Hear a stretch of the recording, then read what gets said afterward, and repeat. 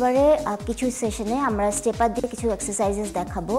যারা কার্ডিওভাস্কুলার অ্যাক্টিভিটির জন্য অ্যারোবিক্স ক্লাসে স্টেপার ইউজ করছেন বা বাসায় স্টেপার ইউজ করছেন, তাদের জন্য এই ওয়ার্কআউটগুলো খুব বেনিফিশিয়াল হবে। কারণ আমরা এখানে স্টেপারটা ইউজ করছি ফর রেজিস্ট্যান্স ট্রেনিং পারপাসে তো এখানটায় একটা ব্যাপার হলো যে, অনেকে মনে করেন যে পারফেক্ট ওয়েটটা যখন মেনটেন করছেন দ্যাট ইজ টোটাল ফিটনেস ফিটনেসের ব্যাপারটা কিন্তু ফিটনেস প্যারামিটারে কিন্তু অনেকগুলো ব্যাপার ইম্পর্টেন্ট হয়।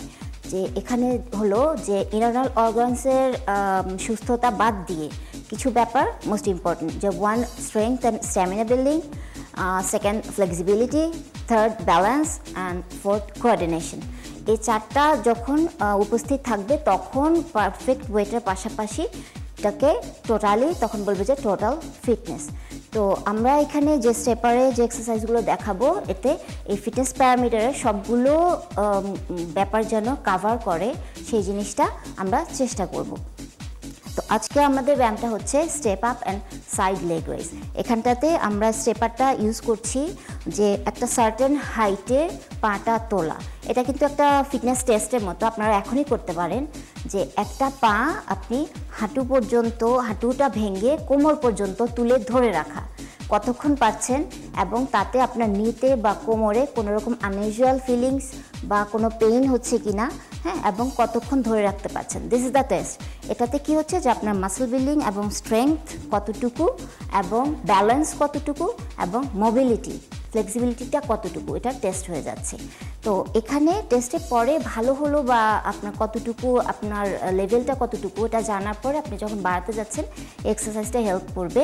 তো আমরা এখন দেখি যে এক্সারসাইজটা কীভাবে হবে এবং এটা কীভাবে আপনাকে হেল্প করবে।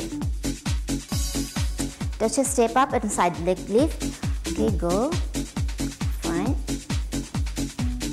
nice এখানে দেখছেন যে হ্যাঁ ওঠেন? যখন উঠছেন একটা সার্টেন হাইটে ওনার পাটা তুলতে হচ্ছে। এবং যখন যাচ্ছেন আরেকবার সাইডে যখন লেগ লিফট করছেন, তখন কিন্তু ওনাকে এক পায়ের উপর থাকতে হচ্ছে এবং ব্যালেন্সটা দরকার হচ্ছে ফ্লেক্সিবিলিটি দরকার হচ্ছে। পাশাপাশি কি হচ্ছে যে ওনার স্ট্যামিনা স্ট্রেংথ বিল্ড আপ হচ্ছে। ওকে আরেকবার আমরা দেখি স্লোতে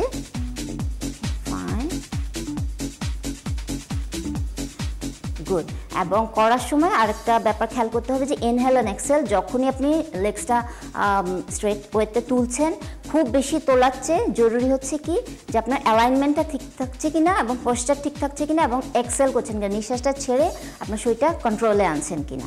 এটা রিপিটেশনের ব্যাপারটা হলো যে যখনই আমরা একটা কোনো একটা ব্যায়ামে বার্নিংয়ের দিকে যাব, তখন খেয়াল করতে হবে যে রিপিটেশনটা খুব যেন কম না হয়ে যায়। যত বেশি রিপিটেশন হবে, তত বেশি এটা বার্নিংয়ে হেল্প করবে। তো এক পায়ে যখন আপনি পনেরো থেকে বিশ বার করবেন, তারপর পাটা চেঞ্জ করে নিয়ে অন্য পায়ে করতে পারেন। আর যদি এটা খুব কষ্টকর হয়ে যায়, তাহলে এক একবার এক এক পায়ে দশ দশ করে করে আপনি এভাবে তিন থেকে চার সেটে করে নিতে পারেন।